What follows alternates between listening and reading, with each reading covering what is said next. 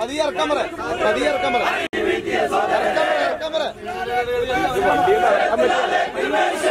വണ്ടി അങ്ങോട്ട് വെച്ചാൽ മതി.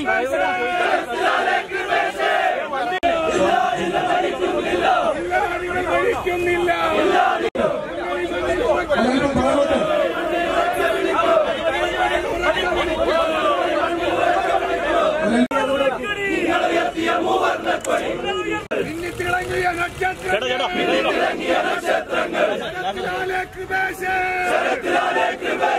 സുഹൃത്തുക്കളെ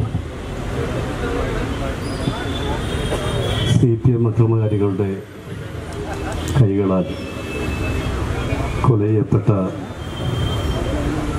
കൃപേഷിന്റെയും ശരത്ലാലിന്റെയും ചിതാഭസ്മത്തിന്റെ മുമ്പിൽ നിൽക്കുകയാണ് കേരളത്തിലെ ഏറ്റവും ഒടുവിലത്തെ അവസാനത്തെ ഒരു കൊലപാതകമായി മാറട്ടെ എന്നാണ്